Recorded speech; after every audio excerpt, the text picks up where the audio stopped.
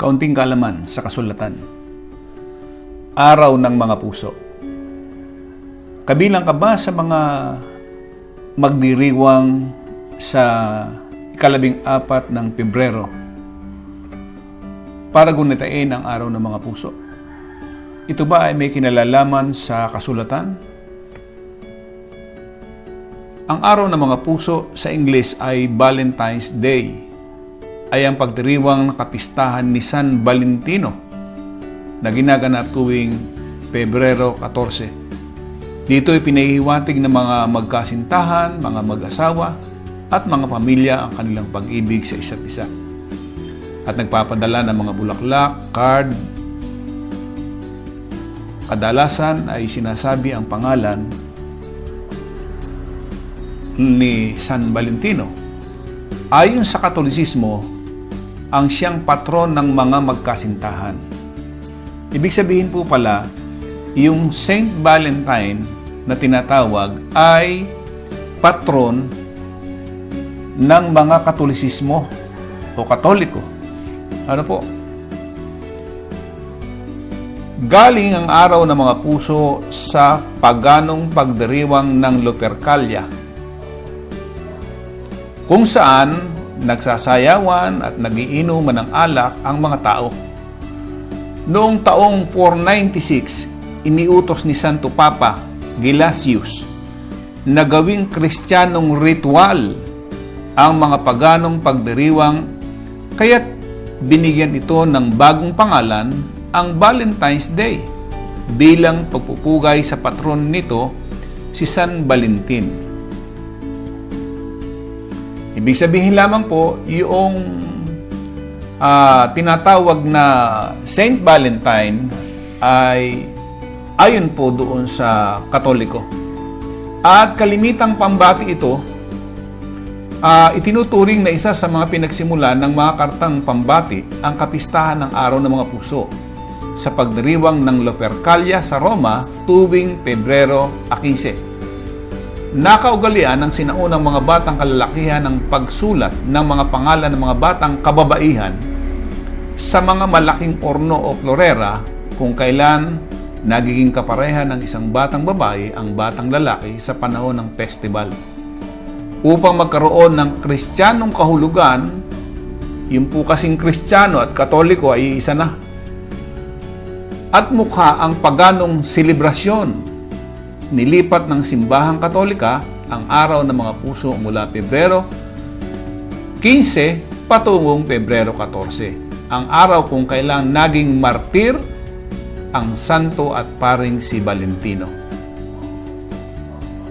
Lumitaw ang mga unang papel ng pambating tarheta o yung sinasabi nating Valentine's Day. Magmula noong ikalabing anim daan taon na naglalaman ng mga tula ng pagmamahal at mga ginuhit ng larawan ni Cupido, ang Diyos ng pag-ibig. Kasama ng kanyang pamana at palaso, naging tanyag ang pagdiriwang ng araw ng mga puso noong mga kalagitnaan ng ikalabing siyam daan taon ang panahon kung kailan ipinakilala sa madla ang mga uh, card o postahe at mga sobre. Kaya nga po, kung kabilang ka sa mga nagdiriwang ng araw ng mga puso, tandaan mo ito na ito ay hindi galing sa kasulatan. Ito ay galing sa mga pagano. Ang paganismo ay ang isang pangkalahatang katawagang ginagamit upang tukuyin ang sari-saring mga pananampalatayang maraming Diyos o relihiyong politeistiko kinabibilangan ng nilarawang pangkat sa karamihan ng silangan ng mga relihiyon, relihiyon at mitolohiya. Ibig sabihin lamang, hindi po ito makadiyos o makakasulatan yung pagdiriwang ng tinatawag na uh, Saint Valentine o yung tinatawag na araw ng mga puso. Kaya nga po kung ikaw ay nananampalataya dun sa isang Diyos, hindi ka dapat makabilang sa mga ito. Ano po ang sama kung halimbawa ay bumabati ka ng Happy Valentine's?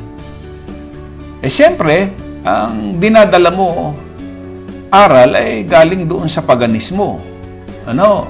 Kasi yung iba, hindi alam na meron po pala itong masama ayon sa kasulatan sapagkat sumasamba ito sa mga Diyos-Diyosan.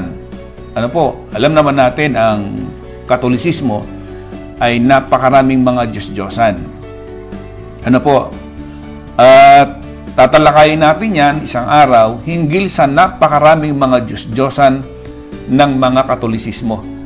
Ngayon, kung maging kabilang ka sa mga taong ito, eh wala ka na rin ipinagkaiba doon sa mga Katoliko. Yung nagsasabing meron kang Diyos, pagkatapos ay babati ka ng Happy Valentine's sa sa kapwa mo o sa babae o sa lalaki at maging doon sa mag-asawa, magkasintahan, ano? So, tatandaan po natin na ang Katolisismo ay ang salitang Katolisismo o Katolisidad ay may dalawang eklesiastikal na kahulugan ayon sa talent talatinigang Webster, unay ang buong orthodox ng kristyanong simbahan o ang pagsunod dito. Ang pangalawa, ang mga doktrina na pinaniniwalaan ng simbahang Romano-Katoliko o ang pagsunod dito. Kaya mahalagang mahalagang maintindihan, malaman natin ano ba ang ibig sabihin ng araw ng mga puso. Ano po? Kasi o, nung unang siglo, yung mga unang alagad, walang naging pagdiriwang ng araw ng mga puso. Tama po, wala. Kaya nga, sabi nga natin, ito ay uh, aral ng uh, tinatawag nating mga pagano. Uulitin ko po na ang araw ng mga puso ay galing sa paganong pagdiriwang ng Lupercalia. Ano po? At sana po ito ay uh, maintindihan natin o maunawaan natin na itong ating uh, nakagisnan na araw ng mga puso ay hindi talaga uh, maka-Diyos. Ano po, kundi ito ay panglaman. Pagano nga po eh. At batay po dito sa Epeso 4.17, ito nga ang sinasabi ko at sinasaksihan sa Panginoon na kayo hindi na nagsisilakad pa na gaya naman ng lakad ng mga hintil sa pagpapalalo sa kanilang pag-iisip. Kaunting kalaman, maraming maraming pong salamat sa inyong lahat.